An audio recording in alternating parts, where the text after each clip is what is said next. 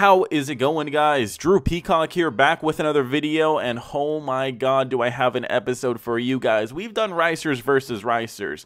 I'm not sure if we've ever done import versus domestic ricers. These two different clubs are on a whole different breed of rice. They have whole different styles. It is just amazing, the differences, and I think today we are going to see which side is the bigger ricer. You guys got to let me know down in the comments what you think. Are you team domestic rice or team import rice? We're going to find out.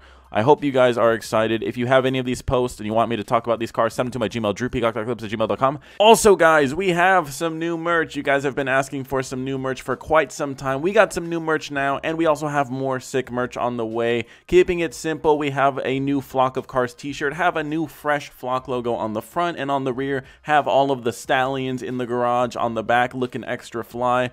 Also, why not rock some Boosted Boy merch? Look at that. We got the turbo on your nipple. Why not? With also the garage on the back looking real fresh. All hand drawn by my boy Nick. Check it out, guys. Link in description down below. Use discount code 2021 for 15% off your order.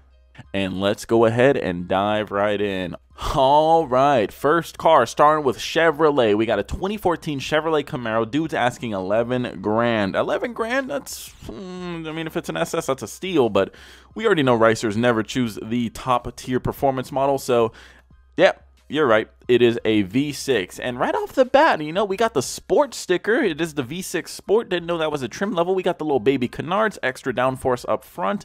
It's dripping. It's dripping in ice. It's dripping in everything. He has uh, anal beads all over the hood. He's got little like butt plugs all over the hood. He's got a uh, set of hood pins on the factory hood, which is great. You know, I guess Chevrolet didn't uh, engineer that hood good enough to stay down. Supreme banner. His butt plugs go all the way across the car. All the way. And it looks like he has some fake ha halos. I've never seen that before. They look like fake halos. Either that or they are the dimmest set of halos I've ever seen. Sport on the mirror. He's got the fender stripes. I mean, eh, this dude's letting you know hey man, I might not have bought the V8, but I do in fact have a huge penis, and you can tell by all the mods I did on my car. Transformers in the form of a V6, like, ugh, dude, you have the Camaro. You might as well, if you wanted the Transformer, just buy a yellow one at that point. Uh, I don't know what the fuck you're doing, man. It's Goth Bumblebee at this point. Okay, more dripping, uh, big wing, factory wheels though. Buddy couldn't be bothered to change his wheels. Although it does look like he's got like some sort of red tiger camo on his wheels. Must have gotten like 150 headshots with them. This ain't a Mustang though, so I wonder how he did that. Uh, spiky lug nuts, Ricer classic move right there. Quick disconnect bumper, guaranteed not functional. He has no idea what the fuck that's for. Into the interior, a chrome wrapped steering wheel.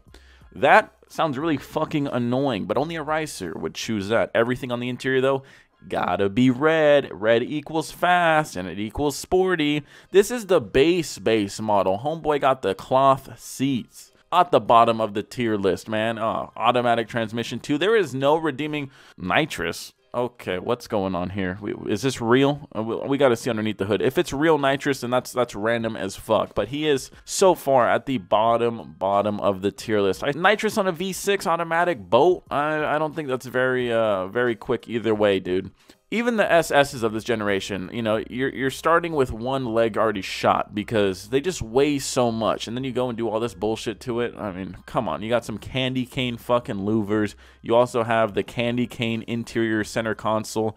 This dude's on crack. Realistically, this dude is on fucking crack. Anyways, says it's uh, 140,000 miles on it. It's got no problems, no lights at all. 2K dollar nitrous to make the car a little faster. Car sounds amazing loud. amazing is, is a weird word to use for something that guaranteed sounds like garbage. Price is negotiable, blah, blah, blah. $11,000 for this fucking gem. It's a good start. Team Domestic has a solid lead right now on the Ricer side. Let's see what else they're bringing to the party. Team Domestic also brought this 2015 Ford Mustang. The Ford Mustang boys, whenever they buy the EcoBoosts or the V6s, they let everybody know it is an EcoBoost or a V6. This guy's trying to blend in though. He's got like the fake hood scoops, similar to a GT, but far from it. Anyone who has ever seen a GT knows that it's not the real shit right there. Racing stripes on an EcoBoost, straight ironic. The interior of these cars, if you haven't been in one of them, they're really nice. Automatic transmission, not the A10 that we know and love. Uh, paddle shifters, though. Gigantic paddle shifters. You gotta have them, because apparently the ones right where your hands should be at 3 and 9, they're, they're just not in the right place, so you gotta have them at all times. Big wing on the back, stupid decal that is just disgusting and an aggressive front splitter on top of his factory front splitter. I, th I think the Camaro is for sure the head of Team Domestic Rice right here. The Mustang is a solid sidekick, but uh, he's just not bringing the heavy guns out. We got the wing, we got the decals, but the Camaro was just a straight up piece of garbage. So this guy's claiming it's the EcoBoost premium package. Who gives a fuck? It's an EcoBoost. No one cares. Still on stock wheels though. They can never be bothered to change those. Okay, all right, this one's sold, and this one looks like it is from a dealer. You guys are going to be amazed at this.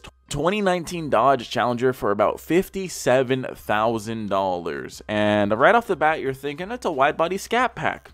You're right, it is a wide body scat pack and it is a fake wide body carbon package scat pack that does not exist. They went to AutoZone, put some cheap canards on it, they put some fake carbon fiber vents on it, they put some fake carbon fiber mirrors on it, and they just put everything just that doesn't make any fucking sense. Heavy duty limited SRT from a dealership a dealership. This is something that a dealership actually is putting in their showroom. And I don't think it's a used car dealership. Just, I mean, it might be. It is a 2019. Well, it's sold. I don't know. It's in Vancouver. I don't know what they're doing in the British Columbia, but this is some funky shit. I never thought in my life I would see something like this in a showroom. If this is a used car lot, I get it. But the only thing is, at the same point, then why? Like why why why do you have the fake badges? Why do you have everything on it that just doesn't make any goddamn sense?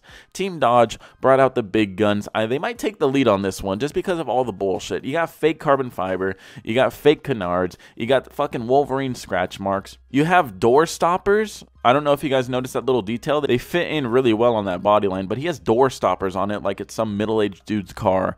And then the fake badges on the back, I don't know. This one's trying super hard to look super sick, but it is just failing super hard to anyone who knows anything about cars. I don't know, guys. Dodge or Camaro, which one is going to be the head honcho for Team Domestic? It's a really close call. This one looks like the guy went a little bit overboard, and it just, it's, it's fucking nasty. Anyways, with that in mind, let's go ahead and take a look at the competition. But first, let's look at something pretty sick. 2013 Lamborghini Gallardo, $194,000. This is actually a Super Trofeo. This is a race car. This is not anything that some dude... This is a fucking race car. If you want a race car for the streets, get the Super Trofeo. This thing is absolutely sick. We're just taking a look at this because it is just going to clear our mind, let us completely recuperate what we just saw, and hopefully just give us a mental flush on all of the bullshit we just saw. This is a real race car, okay?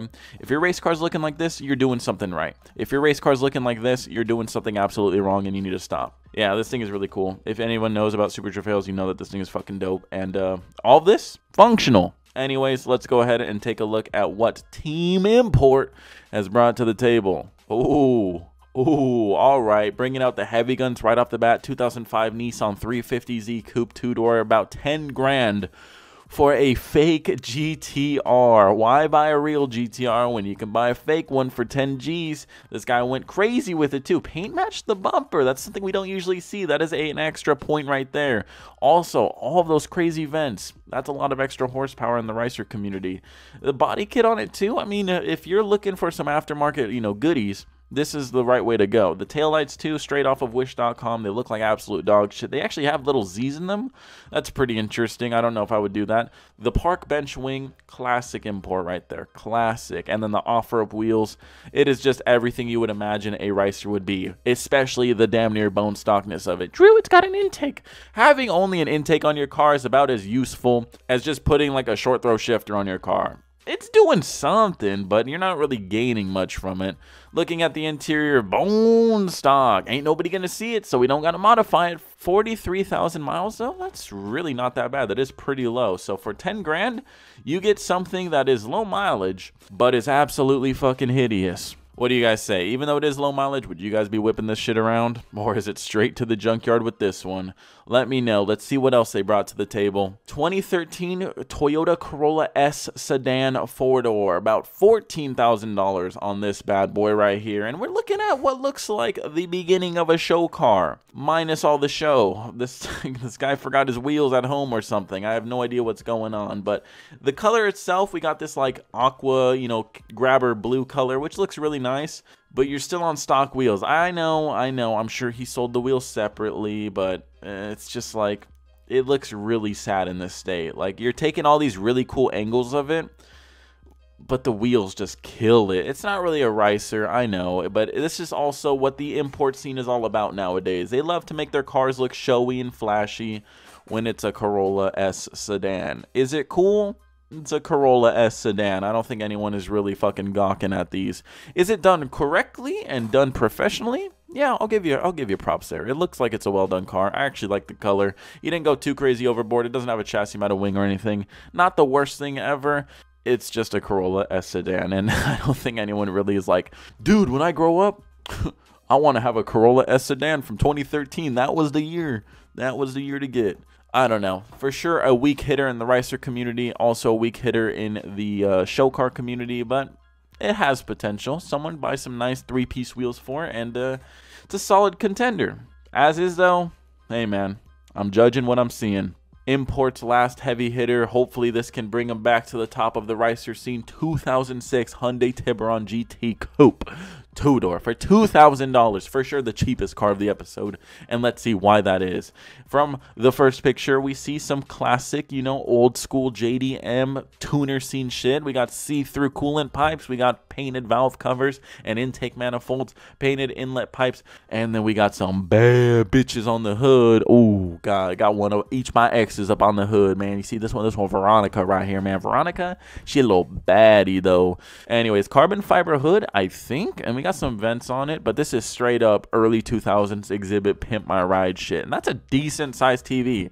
This doesn't look like an early 2000s TV though. So when was this done? It begs the question because that looks like a modern day monitor right there. Like you could probably call, get some dubs on that shit. That is that is some good 1 millisecond response time for sure. Anyways, cool little flame decal going down the side. It just this car looks like it was born in 2006 but it was modified and done in 2016 because it's just it looks too new everything about this car although it is very ugly it just looks too new nrg steering wheel interior doesn't have anything really crazy going on we have some air sprayed fucking uh, trim pieces, but besides that, the interior is very bland. All of the money for sure went underneath the hood, making it look clean and in the paint job. But for $2,000, that is pretty ridiculously cheap. And you know that this thing pulling up the car meets is still going to pull some crowds. I mean, it might not be for the right reason, but attention is attention. If you like it, you like it, you know? Anyways, his description says it has vertical doors, custom pretty much everything as you would expect. But again, two grand? That's, uh, fuck, even if it has 36,000 miles on it, that's nothing. Never mind. He's asking 20k or best offer. Okay, for that price, buddy, you're gonna have this car until the day you die. That I don't think anyone's gonna spend 20k for this thing. I mean, you gotta find the right person. Let's just say it's gonna sit for a while. Anyways, not really a crazy Ricer car as well. I feel like the import scene this episode did not bring their A game. We did have a fake GTR, but the Corolla S and the Tiburon were both just show cars and didn't bring their A game this time. I'm sorry. I don't know. Maybe the import scene isn't as rice as the domestic scene. But then again, every EcoBoost and V6 guy out there always has something to prove. So maybe that's what it is. It's like little man syndrome. You buy a V6, you got to prove to everyone that you don't need the V8 to have fun. You got to prove to everyone with the EcoBoost that it's just as fun and you're just as a car guy as a guy with the GT. You got to prove to everybody. I don't know. Let me know your guys' comments down below. What do you think won? I think the best ricer of the episode was probably the Camaro. This guy was off the charts with all of the rice, the anal plugs all over it, the Supreme banner, all the sports stickers. This guy was on a whole different level. The nitrous bottle was a little curveball at the end, but I think this guy for sure won the battle. On the import side, it's pretty clear too. The 350Z fake GTR. I mean, if you're going to buy the base model 350Z and then try to make it look like a GTR, car, Nissan's top tier fucking high performance car, you have some issues and you are for sure compensating for something. So let me know what you guys think though. Comment down below which car was your favorite. I think Team Muscle won the Ricer battle this time. Let me know your guys' thoughts. Subscribe to see more videos like this one and until next video, peace.